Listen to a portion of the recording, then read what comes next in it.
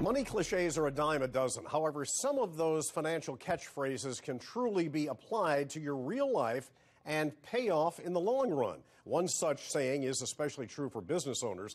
The saying that cash is king, well, legitimately it represents the importance of liquidity for any business of any size. Cash is needed for everything involved to successfully run a business. Here to talk more about that is Bob Sander, the commercial loan officer for First Bank. Bob, thanks for being with us. We appreciate it. Is there a way for a business to predict the amount of cash it's going to have?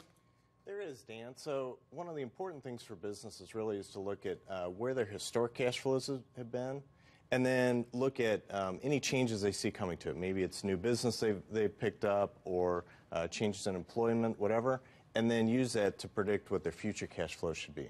Right. Now, for most businesses, I would guess that expenses may be more predictable than the, the cash or than revenue. How do you determine a balance? That's, that's a great question. So, there's really for, for most businesses, right, they should have a decent feeling of, of where those revenues are going to go. The expenses usually are relatively fixed. It's more dealing with the, uh, the revenues that they get. Mm-hmm. And then they need to make sure that they can uh, balance that out to, to take care of seasonal peaks and troughs. Yeah. And, and that's where First Bank can come in, I guess, in, in the loan department. Very much so.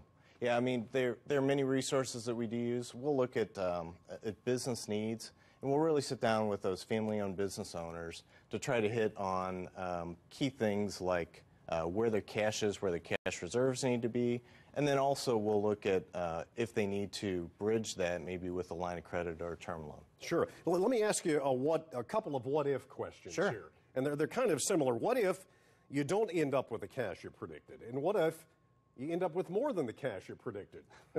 Should you hold on to that cash? Right. Great question. So, really, for, for most businesses, right, if you uh, end up with too little cash, it can cause strain on the business, right? Sometimes excess cash, though, can add a little extra risk to the business because those business owners may get overconfident with that. That's why it's really important to have a good banking partner to sit down with, sit down with someone who knows how to help those family-owned businesses really manage those cash flows effectively. Yeah, so maybe you shouldn't necessarily hold on to that cash.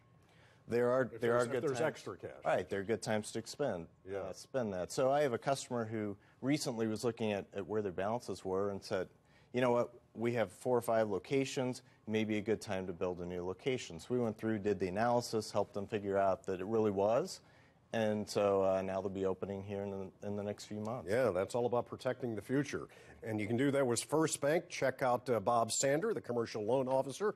And how can they contact you, Bob? Uh, they can contact us at uh, firstbanks.com or they can go to our Facebook site and they can also go to um, our LinkedIn site. All right, great. great. Thanks so much for being with us. We